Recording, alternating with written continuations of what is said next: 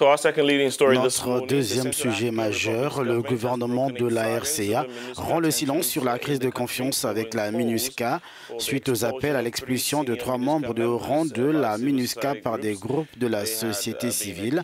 Ils avaient été accusés de saboter le fragile accord de paix dans le pays.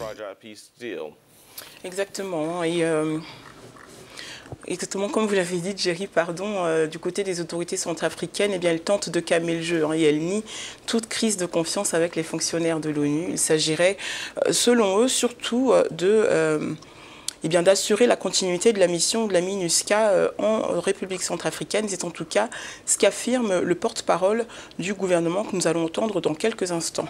Voilà maintenant plus de cinq ans que la MINUSCA est déployée en République euh, centrafricaine pour appuyer le DDR, le désarmement, démobilisation et réinsertion, et plus récemment veiller à la bonne exécution de l'accord politique de paix et de réconciliation.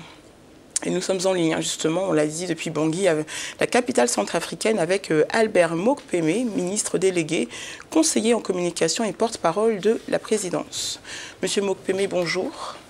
Alors depuis plusieurs semaines, on assiste hein, à des tensions entre la MINUSCA et un groupe de la société civile à Bangui qui exige le départ de certains fonctionnaires euh, de l'ONU du territoire. Il y a eu également un communiqué du ministère des Affaires étrangères euh, allant dans ce sens. L'ONU, euh, de son côté, parle d'une campagne de diffamation. Alors aujourd'hui, vous êtes là parce que la présidence a décidé de s'exprimer sur cette situation. Qu'est-ce que vous pouvez nous en dire en tant que porte-parole?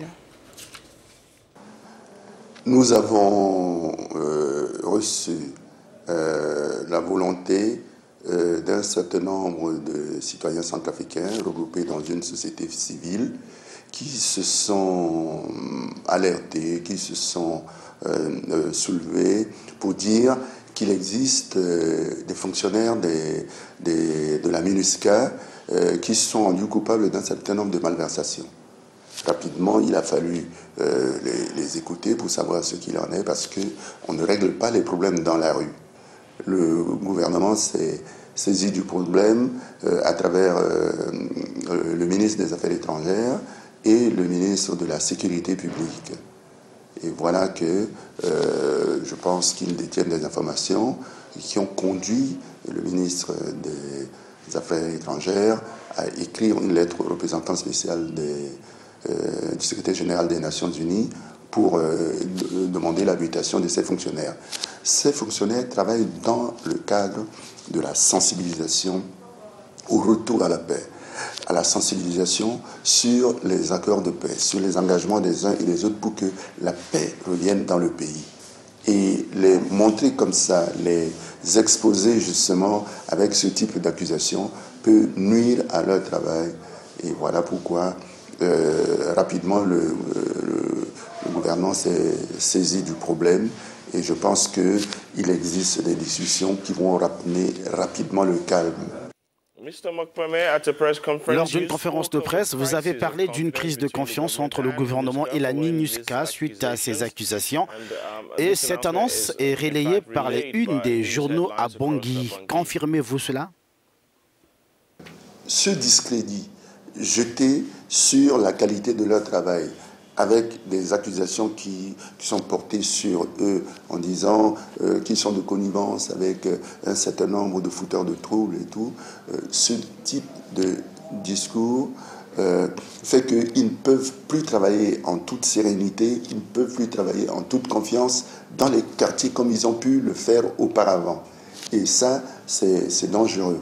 Donc, ça, ça nous amène à nous poser des questions sur la possibilité de, les laisser continuer à travailler sur euh, le quartier comme ils l'ont fait. C'est simplement ce que j'ai voulu dire. Mais je, à aucun moment je n'ai parlé de plus de confiance entre le gouvernement. C'est-à-dire que euh, les accusations jettent du discrédit sur leur travail et ils ne peuvent pas dans ces conditions travailler en toute confiance. Ça n'a rien à voir avec la MINUSCA, mais je parle tout simplement du travail de ces fonctionnaires qui, avec ce discrédit qui pèse sur eux, avec cette accusation qui pèse sur eux, euh, ça peut nuire à la qualité de travail qu'ils font sur le terrain au, au 3e et 5e arrondissement. Dans la lettre du ministre des Affaires étrangères adressée au représentant spécial euh, du secrétaire général des Nations Unies en Centrafrique, un ultimatum d'une semaine avait été donné pour la mutation de ces trois fonctionnaires qui sont toujours là, finalement, au mépris euh, des autorités. Où en est le gouvernement aujourd'hui, après plus d'une semaine? Euh, il y a toujours de la concertation, il y a toujours un travail de mise à plat des, malentendus qu'ils peuvent avoir. Je pense que une fois que le gouvernement se serait euh, concerté avec euh, euh, la, MINUSCA. Je pense qu'une décision sera prise et on sera très vite informé. Mais gardons-nous d'aller vite en besogne. Je pense que le calme va revenir après cet épisode que nous considérons comme malheureux. Le calme va revenir très vite puisque nous, nous travaillons avec le dialogue. Le président de la République a toujours euh, euh, insisté sur cette manière de faire, sur cette politique.